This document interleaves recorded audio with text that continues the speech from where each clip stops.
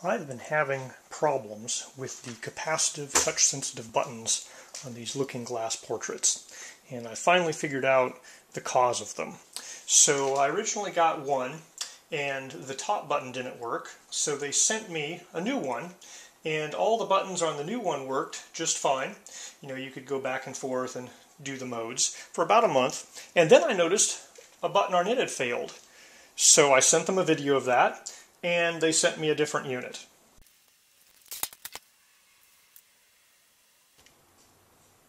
So the new unit arrived, has the demo things on it, and when I got it, none of the buttons worked. And they were, of course, but we checked that unit before we sent it to you, and then I sent them a video of the buttons not working, and so they sent me another unit.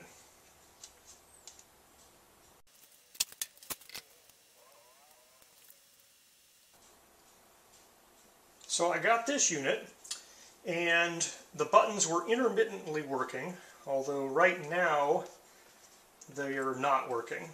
Um, and so I sent them a video of that. And um, they were like, well, the only thing that's common between all these is that power jack right there, so maybe there's a problem with your plug. Um, so I thought, well, maybe they're right, although I have been running my washing machine off of it for years and it's worked fine. So I plugged in the uh, kilowatt meter to take a look at it.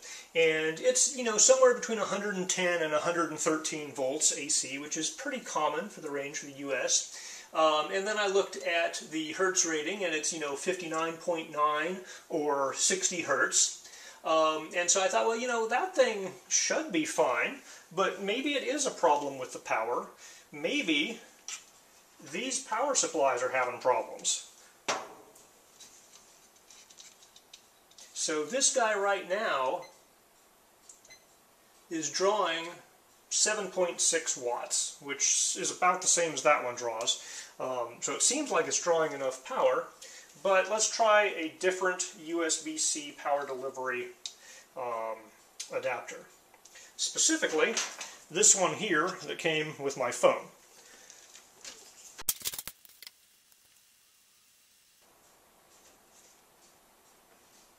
So you can see that top button's working, and the bottom button is working, and this guy here lets me play and pause, or press and hold, and get loop or press and hold and get pause. Or, well, if you press and hold, it'll do the, uh, there, no loop. Um, there's a little bit of intermittent flakiness, just a tiny bit of it doesn't respond to every single touch perfectly, but it's doing a pretty good job there, certainly better than it was before. Um, so this guy's doing better. It's drawing 7.2 watts. So it's drawing about the same amount of power. So I don't know if it's not able to get enough power at the low voltage. Um, with these guys, they're rated down to 100 volts. It's 100 to 240, but obviously if you give them 240 volts, they don't have to work as hard. Um, or it might be the switching frequency of their step-down converter um, changes, and that switching frequency messes up the capacitive sensor system here. I don't know, you know, the exact details um, but you can see with the USB phone charger, it mostly works. Um, I have noticed like sometimes it doesn't react quite as well as I'm used to, but it seems to be mostly working.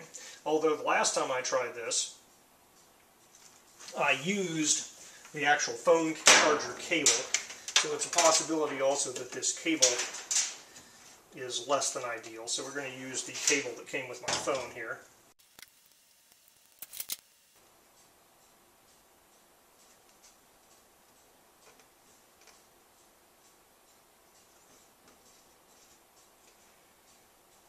So it's still not perfect,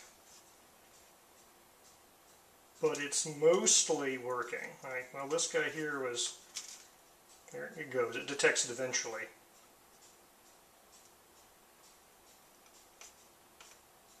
Back, forward. Of course, now it's not working, but this charger and this cable had caused all three of these to work last time I tested it.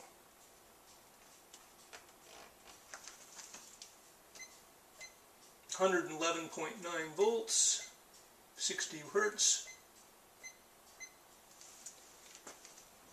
That worked, that worked, that worked.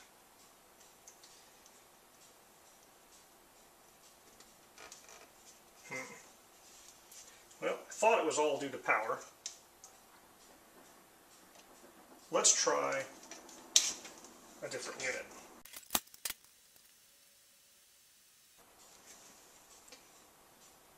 That works, that works, that works.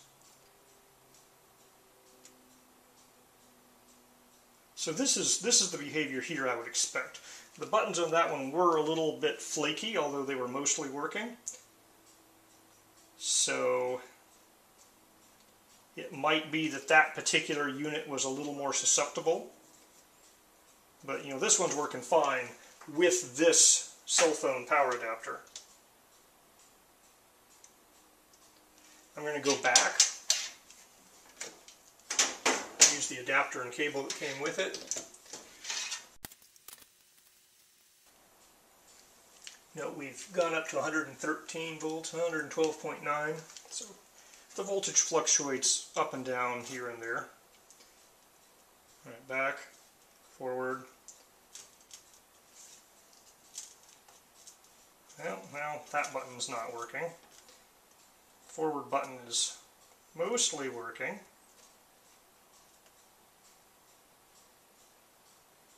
Sometimes I touch it and it doesn't do anything, but most of the times if I do a long press, it's working But I can tap it and nothing happens. If I push and hold with the full tip of my thumb, it's mostly working. Although this, well, the bottom button, I can't get to activate. But these guys, if I push and leave my thumb on it, well, there we go, flash.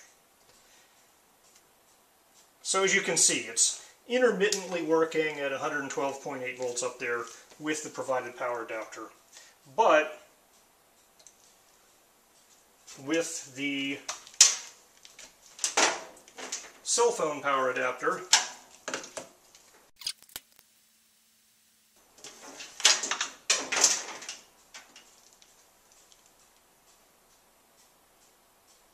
all three buttons work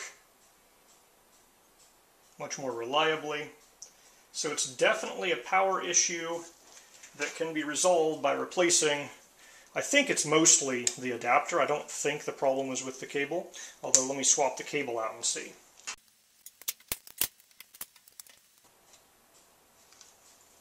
Alright, we're using the provided cable with my cell phone power adapter.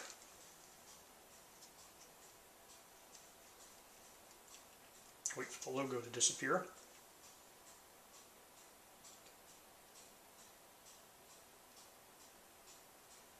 So yeah, the buttons are working as I expect.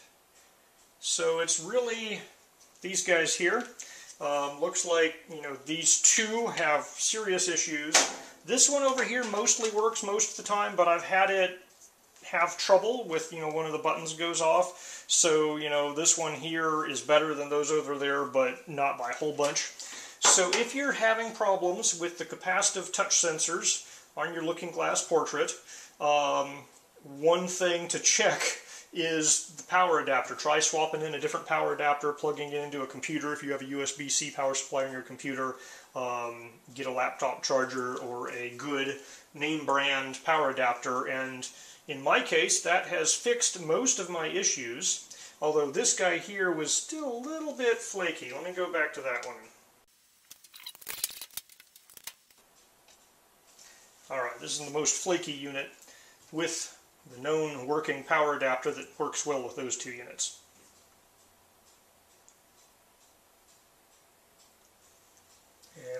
And we're at 112.3 volts right now. So these buttons are mostly working. Every so often I'll tap and nothing happens, but if you like leave it there um, and tap until you see a flash and push push hard, there, well, I got a double flash there. Um, they're mostly working, a little bit of debouncing issues, but all the buttons work. So, you know, this unit is a little bit touchier or not as responsive, but it's mostly working with the good power adapter that works well with those guys. Um, so, you know, the power adapter may not be everything to have to do with this issue, but it looks like the power adapter is probably the main culprit here.